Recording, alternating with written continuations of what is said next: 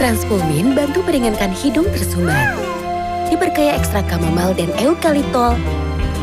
Dari tahun ke tahun menjadi pilihan para ibu hingga kini. Usapan Ibu Transpulmin menghangatkan.